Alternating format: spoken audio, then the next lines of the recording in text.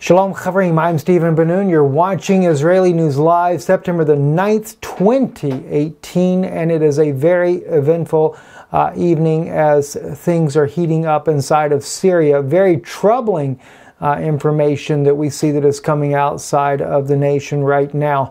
Uh, the Wall Street Journal, along with other uh, news from the United States, is reporting that the USS Syria plans gas attack in rebel stronghold of Idlib. Chlorine assault would target Idlib and what could be decisive battle in a seven year war, raising prospects for a new retaliatory strike as thousands flee. This is what the United States is now doing.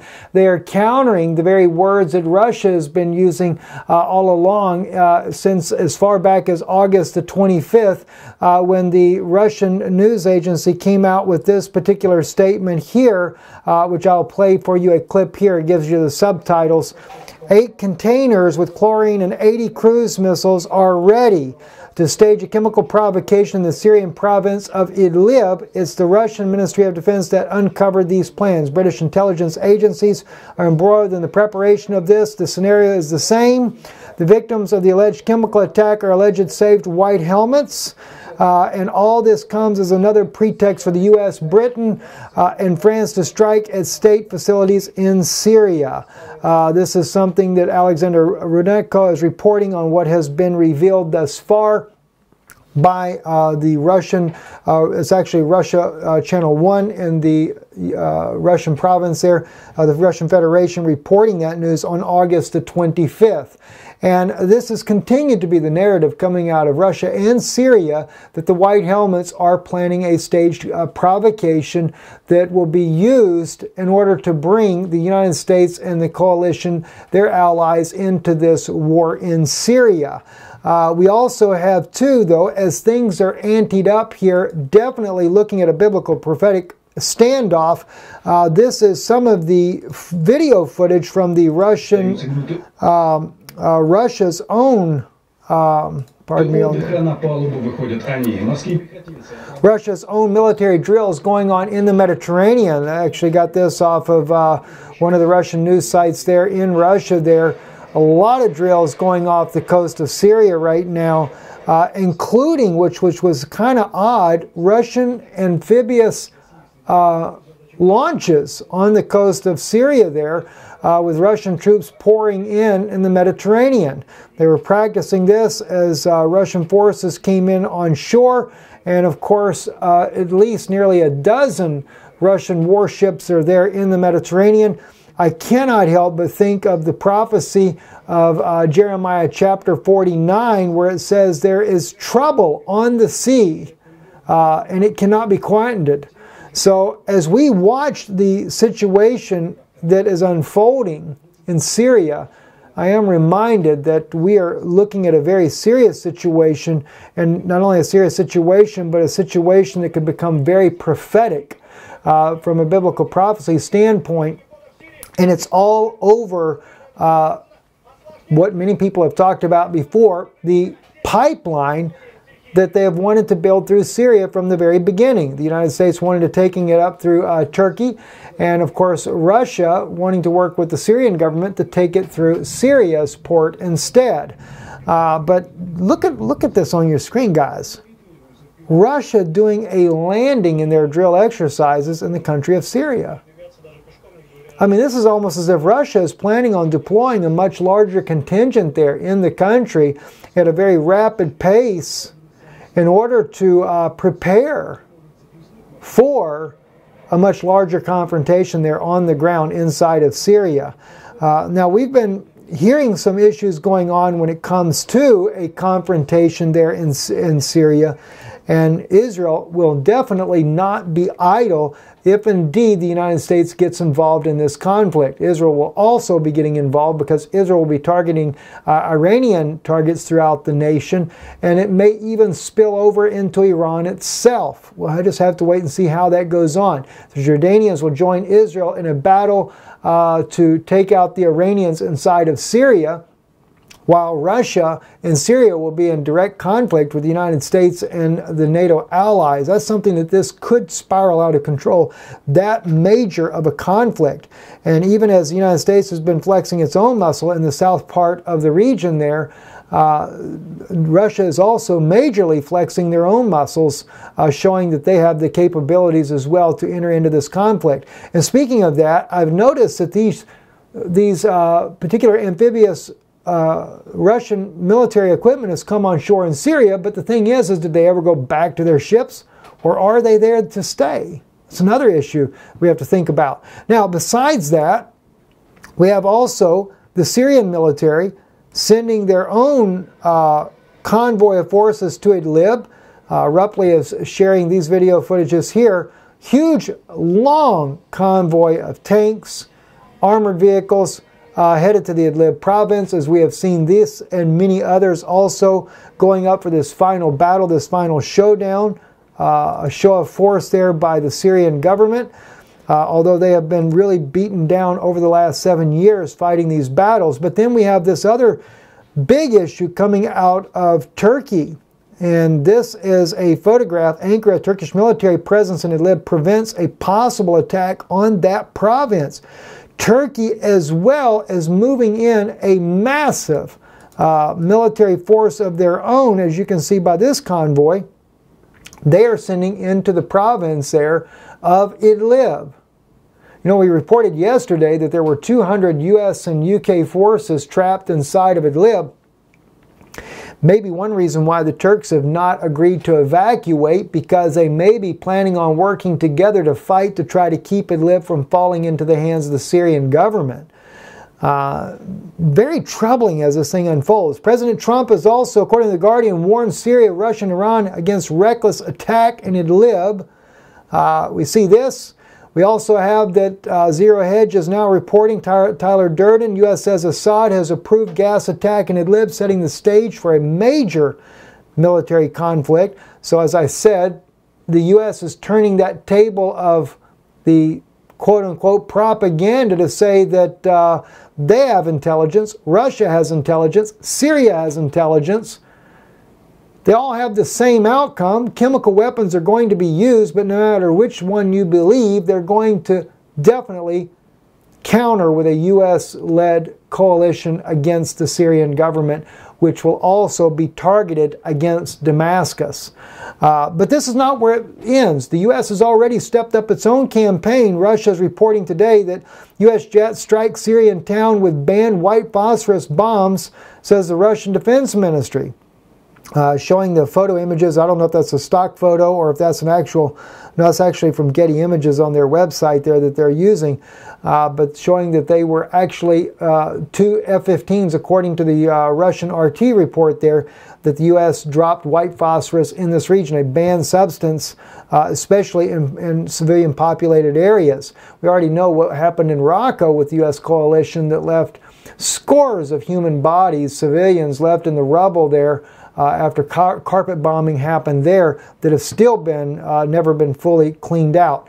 Uh, this article here on Sana, the army advanced further into the region of the Talal al Safa for another kilometer. This is down by Al Suwaid. Let me give you kind of a little uh, a bird's eye view of Al Suwaid. Al Suwaid right here on your map here. That's down by the Jordanian border. So besides taking all the way up through here towards the Golan, now they're pushing back in this region here, trying to take more of that territory, headed towards Al Tanf, which when I saw the news that came out in Western media that Russian, Russia has threatened to take out the Al Tanf military base, I believe that that is a false news report because I had already seen where the Syrians had mentioned that they had sent a message to U.S. forces that they were going to start taking out ISIS militants in the area where the U.S. military base is at Al Tanf, which is right in this area here. By the way, I do stand corrected. I'd given you guys the other day, I'd shared with you the satellite image here,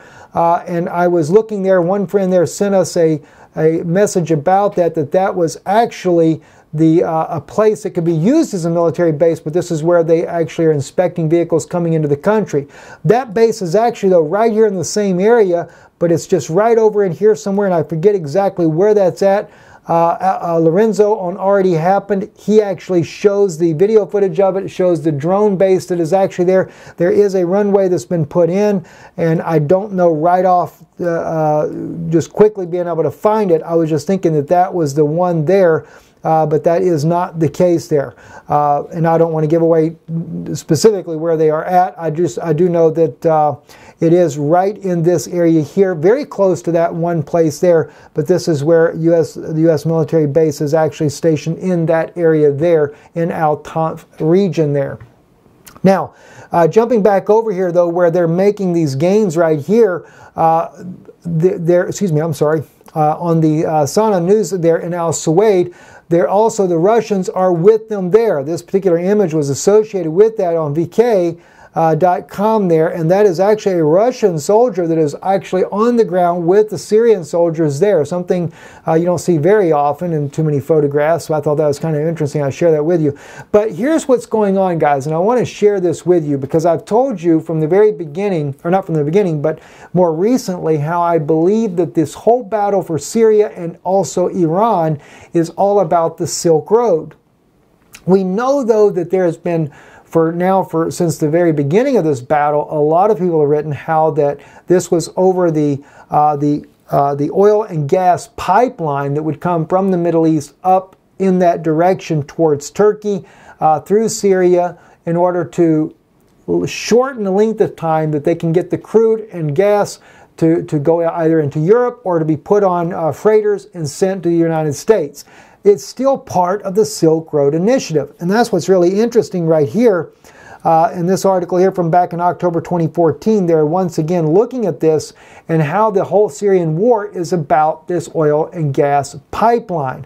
Now, I just got some fresh information on this uh, from some sources that I do have about this war, and this is what I am being told. This is exactly why the battle is going on. Uh, the United States and their allies want the pipeline either to originally was to go through Turkey, uh, but now there's new intelligence that I've, that I've been shared with that this pipeline is going to be built and go into Israel and will be the oil will be exported from uh, either Haifa or somewhere in this area here and sent to the rest of the world. Again, it is part of the Silk Road Initiative, which the whole purpose for the Silk Road was to shorten the amount of time in order to get products to other parts of the world. And that is why uh, this gas pipeline is so important. Uh, the Russians, the, Sy the, Syrian government, President Bashar al Assad said that he did not want to sign the deal with John Kerry because he said Russia had been a long-time ally and he had agreed with uh, President Putin to allow them to build the gas pipeline through his country and not the United States.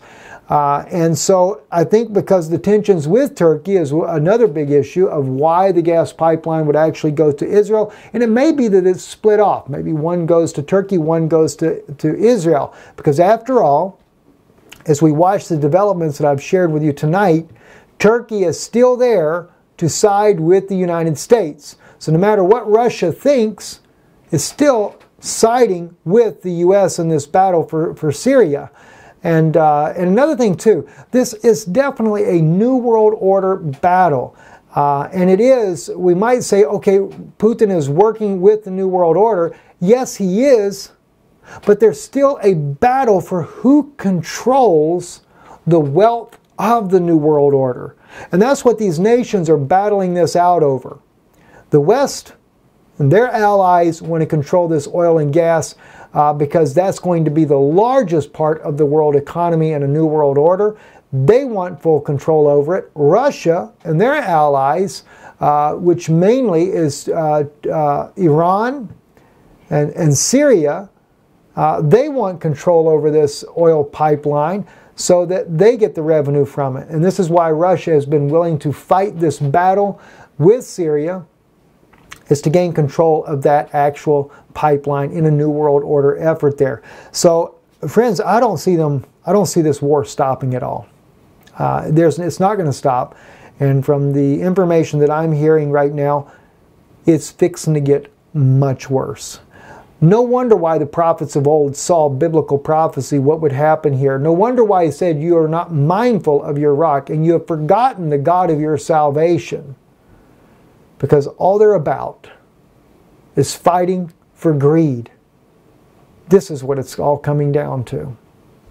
For a major New World Order Silk Road initiative, but it's about the oil and gas. Very troubling indeed, friends. What will come out of this at the end of the day, I don't know. Uh, it could turn into a nuclear war. I don't think it'll be a total devastation, uh, but I do believe that it'll be to also, as the other New World Order agenda is, is to reduce the world's population of people. So I don't think they really care about whether or not they use nukes or not. But listen, we're going to be sharing on Patreon uh, some information I think that'll be very helpful in the event that this turns really bad. Uh, so I'm going to share some of that insights with you guys. We won't do it here on Israeli News Live. Don't need to get into all those type details here. Uh, but over on patreon.com forward slash Israeli News Live, we'll share some of those insights uh, with you. Uh, I will say you one thing though. If a war does break out, keep in mind FEMA in America will become refugee centers for displaced Americans that are survivors of some type of attack on the mainland United States. I wouldn't go to one. Think about that. We'll be sharing those type of insights with you on Patreon. So join us there. Hopefully I get that out tonight. I apologize as well about our Shabbat broadcast. My wife has been very sick here this weekend, so I've kind of been tied up with those issues there. I was unable to put that message together for you. But uh, hopefully either if not later tonight, I'll try to definitely do it by tomorrow to share those insights with you over on Denoon Institute. Uh, so those of you that would like to hear that broadcast, we will not air it here on Israeli News Live. It will actually be aired on Denoon Institute, our YouTube channel there. D-E-N-O-O-N. I'll post that in the links below. Anyway, shalom, shalom in a world of Ein Shalom. Talk to you guys soon.